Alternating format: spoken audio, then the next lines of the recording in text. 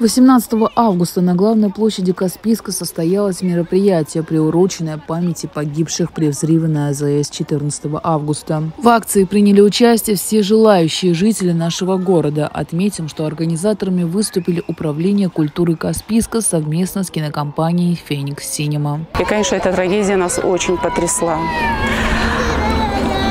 Вся страна отозвалась на эту трагедию, и поэтому мы выражаем искренние соболезнования родным и близким. Эта трагедия и вправду стала ударом не только для самих дагестанцев, но и для всей страны. Подобные акции республику поддержали Северная Осетия, Кабардино-Балкария, Чечня и другие субъекты страны.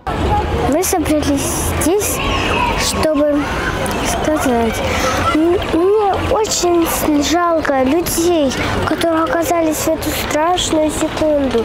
И я соболезную тем людям, чьи родственники, дети погибли в этом пожаре, э, взрыве. Особенно мне жалко детей, которые оказались в эту самую страшную секунду. Завершилась акция возложением цветов.